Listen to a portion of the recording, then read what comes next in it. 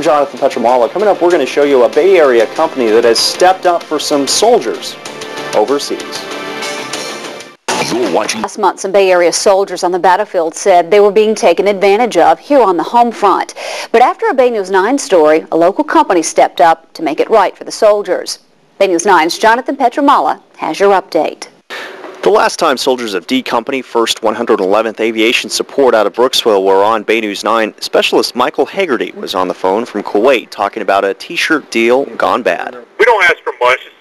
We're just getting T-shirts made. Some, of you know, our, our company on there, where we've been, what we've done, and, you know, we get back home, just kind of show it off a little bit. Hagerty and the rest of his company felt the T-shirts they ordered to remember their mission in Iraq and Kuwait weren't what they ordered. Bay News 9 later learned the company they had ordered from had gone out of business. The soldiers were stuck with what they had.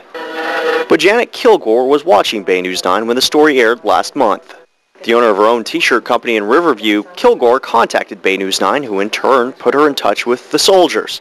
Just a few short weeks later, Kilgore is printing 70 replacement shirts, free of charge. I just felt bad. I just really felt bad and wanted to make it right, not only for our industry and what we do, but to really make it right for the service personnel. The biggest complaints the soldiers had with the last shirts was that the screen printing was faded. There were black lines, so Distinctive Impressions decided to use digital garment printing. What that gives you is higher detail and better quality. In total, Distinctive Impressions is donating about $500 worth of shirts to soldiers half a world away.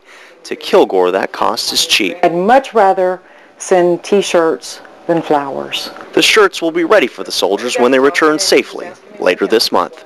In Riverview, Jonathan Petramala, Bay News 9. The soldiers who were part of the company in Iraq and Kuwait said they were surprised but grateful for what Distinctive Impressions is doing for them.